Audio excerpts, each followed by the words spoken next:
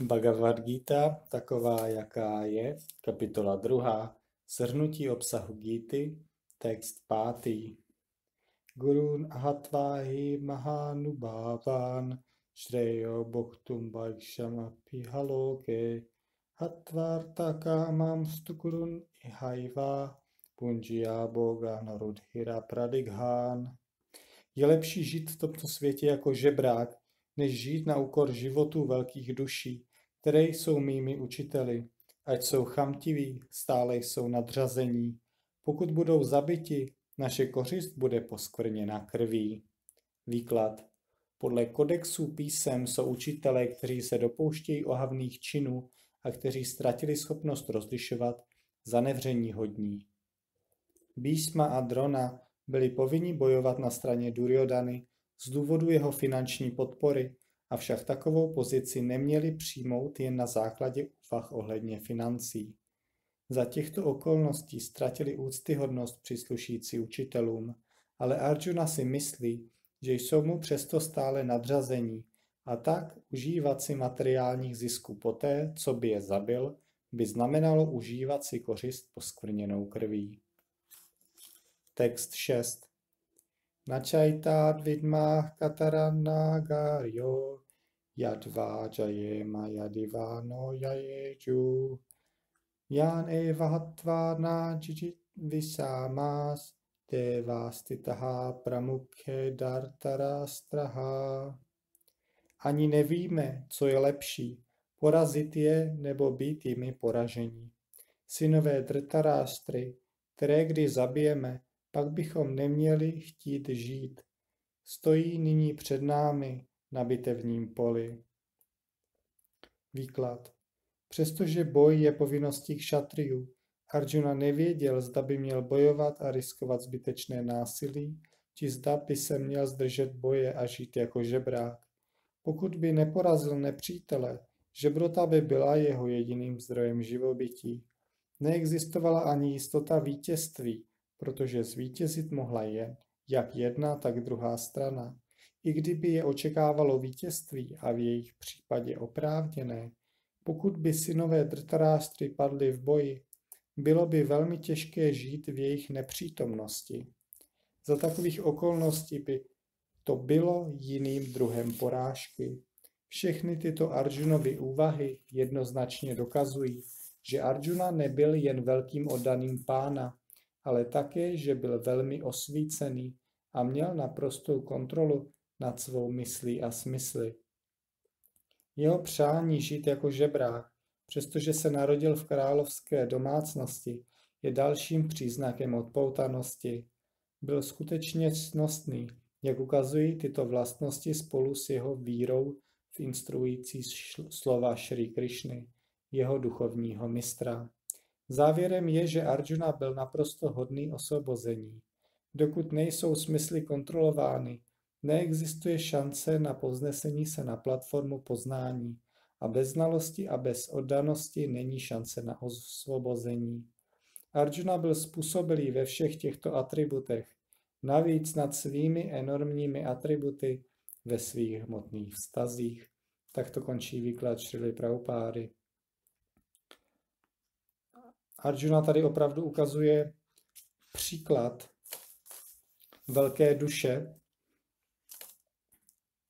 ve srovnání s námi, protože my máme tendenci se nechat ovládat naší myslí a našimi smysly. Máme tendenci prosazovat to, co je dobré pro nás, často na úkor ostatních. Já chci tohle a ty to, ty to mít nemůžeš vlastně takhle chceme zvyšovat naše vlastnictví, chceme vlastně taky, že jo, ať už to je naše vlastnictví přímo, já a moje, tak to může být taky moje rodina, moje skupina, můj národ. A tady Arjuna je ochotný jít do lesa jako žebrák, vlastně vzdát se všech předmětů ukájení smyslu a toto všeho vlastně života kšatry, bojovníka, který disponuje bohatstvím, je ochotný se vzdát. A tak to je vidět vlastně ten velký charakter Arjuny. A Šlá Prabhupád taky také zmiňuje, že součástí procesu seberealizace je kontrola smyslů, yoga indriya samyama. Vlastně smyslem jogy je kontrolovat smysly. A v následujících textech a kapitolách budou zmíněny různé typy způsobu, by jak kontrolovat smysly a různé typy jogy a bude prohlášeno, že nejvyšší a zároveň nejjednodušší je bhakti yoga, tedy oddaná služba nejvyšší osobnosti božství. Text 7. Karpáňa dosopahata svabhavaha prčámi tvam dharma samudhačetaha yachreyasya nishchitam bruhi tamme šišyasteham sádimám tvám prapanam. Jsem nyní zmaten ohledně své povinnosti a proslabo jsem ztratil veškerou rozvahu. V tomto stavu tě žádám, abys mi jasně řekl, co je pro mě nejlepší. Jsem nyní tvým žákem a tobě odevzdanou duší. Prosím, dej mi instrukce. Výklad. Kompletní systém hmotných činností je zdrojem zmatení pro každého, což je dáno vlastním chodem přírody. Zmatení je na každém kroku, proto je vhodné se obrátit na pravého spirituálního mistra, který může člověku poskytnout řádné vedení k naplnění smyslu života. Veškerá védská literatura nám radí, abychom se obrátili na pravého spirituálního mistra, abychom se osvobodili od zmatení života, která přicházejí, aniž bychom si je přáli. Jsou jako lesní požár, který se nějak rozhoří, aniž by ho někdo zažehl. Podobně situace světa je taková, že zmatení života se automaticky objevují, aniž bychom si taková popletení přáli. Nikdo nechce oheň, oheň přece hoří a my jsme zmatení. Vědská moudrost proto radí, že za účelem vyřešení zmatení života a pro porozumění vědě řešení se musí člověk obrátit na spirituálního mistra, který je součástí učednické posloupnosti. Člověk s pravým spirituálním mistrem by měl vědět všechno. Proto by člověk neměl zůstávat v hmotném zmatení, nýbrž by se měl obrátit na spirituálního mistra. To je význam tohoto verše. Kdo je člověk zmatený hmotou? To je ten, kdo nechápe problémy života. V Garga Upanishádu je zmatený člověk popsán takto. Jova etat aksharam gargi avidit vácma lokát prejtisa kripanaha. Ten, kdo nevyřeší problémy života jako člověk, a kdo tudíž opustí tento svět stejně jako psy a kočky, bez porozumění náuce o seberealizaci je lakonec. Lidská forma života je nejcennějším artiklem živé bytosti, která ho může využít k vyřešení problému života. Proto ten, kdo správně nevyužije tuto příležitost, je lakomcem. Naopak existuje bráhmana, či ten, kdo je dostatečně inteligentní, aby využil toto tělo k vyřešení všech problémů života. Krýpanové či lakomci plítvají svým časem přehnanou náklonností k rodině, společnosti, zemi a tak dále, založenou na hmotném pojetí života. Člověk často lpí na rodinném životě, jmenovitě na manželce, dětech a ostatních členech, na základě kožní choroby. Kripana si myslí, že dokáže ochránit svou rodinu před smrtí a dále si Kripana myslí, že jeho rodina nebo společnost ho dokáží na pokraji smrti ochránit. Takové lpění na rodině můžeme nalézt i mezi nižšími druhy zvířat, které se také starají o potomstvo. Tím, že byl inteligentní Arjuna, dokázal pochopit, že jeho náklonost ke členům rodiny a touha je ochránit před smrtí byly zdrojem jeho zmatení. Vzhledem k lakomecké slabosti nedokázal plnit své povinnosti, přestože dovedl pochopit, že ho očekávala povinnost bojovat. Proto se táže pána Krišny, nejvyššího spirituálního mistra, aby učinil konečné rozřešení. Oddává se Krišnovi v roli učedníka. Chce utnout přátelské rozprávky. Rozhovory mezi mistrem a žákem jsou vážné A nyní chce Arjuna mluvit velmi vážně před uznaným spirituálním mistrem. Krishna je tudíž původním spirituálním mistrem nauky Bhagavad Gita a Arjuna je prvním učedníkem pro porozumění dítě. Jak Arjuna porozumí Bhagavad Gita, je popsáno v dítě samotné. A přece pošetilí svědčtí učenci vysvětlují, že člověk se nemusí podrobit Krišnovi co by o sobě, ale co by takzvaně nezrozenému v Krišnovi. Neexistuje rozdíl mezi tím, co je vevnitř a vně Krišny. Ten, kdo si toto neuvědomuje, je největší blázen ve snaze porozumět Bhagavad Gita. Tak to končí výklad Šrily Praupády. Šá Prabhupád tady zmiňuje, že to lidské tělo, které jsme dostali, je to nejcennější, co máme, protože nyní máme příležitost zjišťovat o smyslu života, a táto Brahma Jignása. Ostatní formy života tuto příležitost nemají, protože se omezují pouze na jezení, spaní, páření se a obranu. A ta lidská forma je unikátní, protože ji můžeme proužít pro vyšší účel. A do té míry, do které tuto lidskou formu nepoužíváme k seberealizaci, nevyužíváme ji k tomu, abychom se obrátili na spirituálního mistra a dotazovali jsme ho. Do té míry jsme lakomci, krýpaná. A pokud, pokud se obrátíme na pravého spirituálního mistra, tak on nám pomůže vyřešit všechny naše problémy, všechny naše otázky a pomůže nám vyčistit všechny naše pochyby. Je řečeno, tadvigyánar tamsa gurumeva abigačet. Přistoupit ke spirituálnímu mistrovi je povinnost, protože my nejsme sami schopni jen tak logikou, naší logikou, všechno vyřešit. Tady Arjuna přesně tady to prožívá. Zvažuje všechny okolnosti a snaží se konat dobře, ale je z toho zmatený, neví, jak se rozhodnout. Stejně tak my se nacházíme v podmínkách, kdy čelíme nemocem stáří a smrti. Nikdo tady ty podmínky nechce, přesto tady ty podmínky panují. To je jako ten oheň v lese, který vzplane, aniž by ho někdo, kdokoliv vědomně zažehl. Přesto tady ten oheň vznikne. A kdo je tedy spirituální mistr? Shrotriam Brahmaništam. To je ten, který, který slyšel a který slyšel a je umístěný, umístěný plně na spirituální úrovni. Je to, musí to být oddaný Krišny, jak říká pan Četania. Musí být, musí být zástupcem Krišny a oddaným Krišny, protože jedině oddaný Krišny nás může zasvětit do vědy sloužení Krišnovi, do vědy bhakti yogi.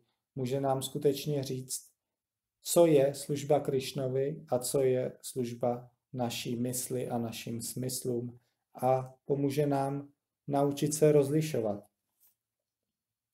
Bhagavad Gita odmítá slepou víru, slepě se odevzdat někomu nebo něčemu. Právě nás podporuje v tom, abychom kultivovali inteligenci.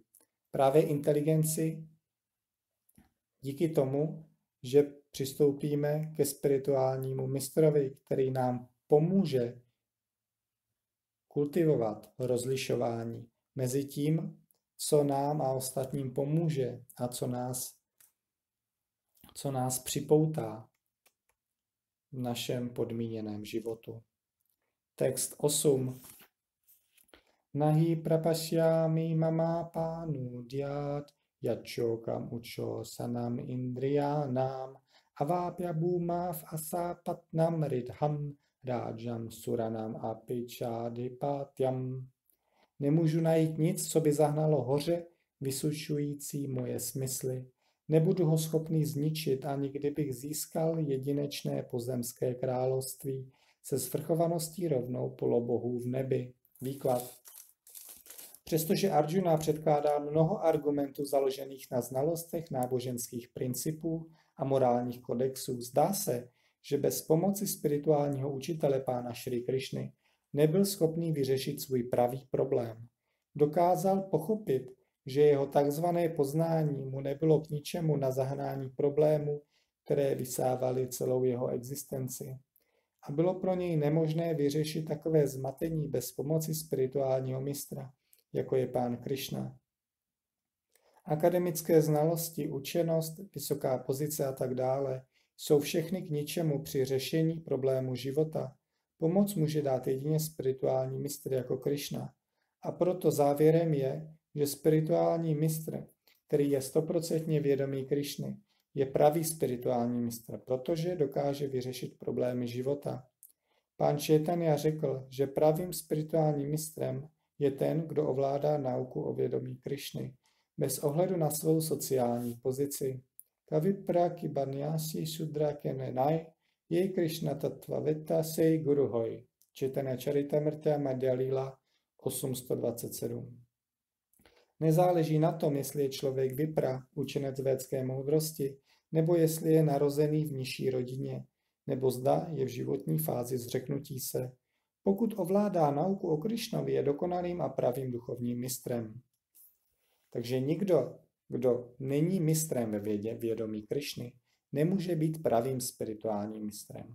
Ve védských literaturách je také řečeno, Satkarma nigurno nipuno vipro mantra tantra višáradaha a Vaishnava guru našašyát Vaishnava svapačo guru. Učený brahman a expert ve všech předmětech védského poznání není způsobilý stát se spirituálním mistrem, aniž by se stal Vaishnavou či expertem v nauce o vědomí Krišny. Ale člověk narození v rodině nižší kastovní třídy se může stát duchovním mistrem, pokud je Vaishnavou či vědomí Krišny. Problémy hmotné existence, narození, stáří, nemoc a smrt nemohou být odvráceny akumulací bohatství ani ekonomickým pokrokem. V mnoha částech světa existují státy, které oplývají všemi možnostmi života, které jsou plné bohatství a jsou ekonomicky rozvinuté, a kde přesto stále přetrvávají problémy hmotné existence. Rozdílnými způsoby se snaží o mír, ale pravého štěstí mohou dosáhnout jedině, pokud se poradí s Krišnou či s pravým zástupcem Krišny, člověkem vědomým Krišny či s Bhagavad Gita a Srimad Bhagavatamem, které představují nauku o Krišnovi. Pokud by ekonomický pokrok a materiální komfort dokázali odehnat bědování pro rodinu, společenské, národní nebo mezinárodní opojení, pak by Arjuna neřekl, že ani jedinečné království, ani svrchovanost rovná svrchovanosti polobohu na nebeských planetách nedokáží zahnat jeho nářky. Proto hledal útočiště ve vědomí Krišny, což je pravou cestou k dosažení míru a harmonie. Ekonomický rozvoj i vláda nad světem mohou být kdykoliv ukončeny katastrofami materiální přírody. I postup do vyšší planetární situace, jako lidé nyní hledají místo na měsíční planetě, může být skončen jednou ranou. Bhagavad Gita potvrzuje, Kshinie punie matyalokam vishanti. Když jsou výsledky zbožných aktivit dokončeny, člověk opět poklesne z vrcholu štěstí na nejnižší úroveň života. Mnoho světových politiků padlo tímto způsobem. Takové pády jen tvoří více příčin pro bědování. Proto, pokud chceme na dobro skrotit nářek, pak musíme přijmout útočiště u Krišny, jako se o to snaží Arjuna. Arjuna požádal Krišnu, aby vyřešil jeho problém definitivně, a to je cesta vědomí Krišny. Tak to končí výklad Šrily Prabhupády. Hmm. My máme tendenci se snažit vyřešit své problémy. Mám hlad a řeším svůj problém tím, že se najím. Nebo máme tendenci svádět naše utrpení, naši bolest na nějaký problém. Jen kdybych měl hodnější manželku, jen kdybych měl tady tu skvělou práci, jen kdybych měl tak, tak, tak vysoký příjem, jen kdybych měl tolik peněz na účtu, jen kdybych měl dům, auto, přátelé, děti, hodné děti, tak bych, tak bych vyřešil všechny své problémy. A tady to je ve skutečnosti iluze. To je iluze, kterou nám právě může pomoci vidět spirituální mistr. Můžeme se jenom podívat uh, kolem sebe. Vlastně sebevraždy jsou prominentní zejména u těch, kteří vlastně dosáhli všeho, dosáhli veškerého bohatství slávy a přesto nenašli konečné štěstí. Tady to všechno je totiž pomíjivé. A tady to si uvědomit nám právě pomáhá spirituální mistr, který je expertem v nauce vědomí Krišny. A to je právě ta kvalifikace pro skutečného spirituálního mistra. Jak bylo v předchozím výkladu zmíněno, tak zmatením je na každé kroku a my máme tendenci vlastně podvádět sami sebe. Máme tendenci zabíhat do tady těch krátkodobých snah o uspokojení, o to vymačkat šťávu ještě někde, kde to jde. Třeba když ještě kliknu tady na ten odkaz na internetu, tak budu šťastný. Tady máme tendenci vlastně hledat štěstí, ale ve věcech, které nás zaplétají více a více do, do utrpení. Jsme vlastně v tom, že ani to není tak štěstí jako úleva. Hledáme úlevu od toho utrpení, které prožíváme. A jakmile si tady tu, to utrpení začneme uvědomovat a začneme být, být k sobě upřímní, tak Šia tady říká, skutečné problémy naší existence není kolik mám peněz na účtu, nebo o tom, jak se ke mně chovají mé děti, ale je to ve skutečnosti narození, stáří, nemoc a smrt. To jsou skutečné problémy lidského života a právě spirituální mistr nám pomáhá tady ty problémy vyřešit. Dobře? Často příčinou strachu, který prožíváme, nebo ať už to je vztek, tak často tou příčinou je strach. A ten stěžení strach je z toho, že zemřeme, aniž bychom si to často přiznávali. A spirituální místo nám pomáhá vyřešit tu skutečnou příčinu toho našeho utrpení. A proč? Proč potřebujeme spirituálního mistra? Proč, proč nestačí přistoupit ke Krišnovi, k Bohu přímo? Za prvé, my nemůžeme přistoupit k Bohu přímo, protože nevíme jak. Bůh je na jiné úrovni, Bůh je na spirituální úrovni, má spirituální smysly.